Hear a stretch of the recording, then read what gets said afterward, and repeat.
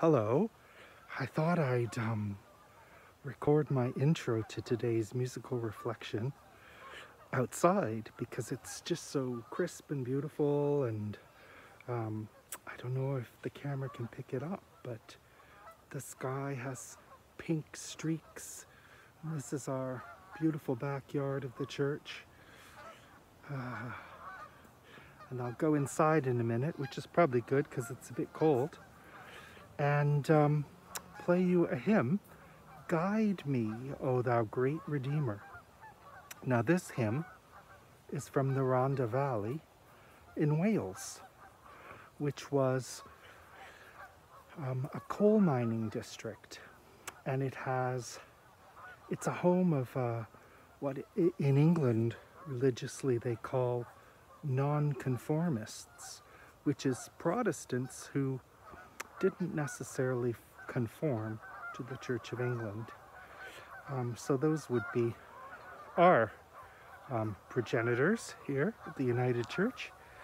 So um, I feel like it's great that we can take this hymn over from the Welsh and I'll do a version of it when I get inside.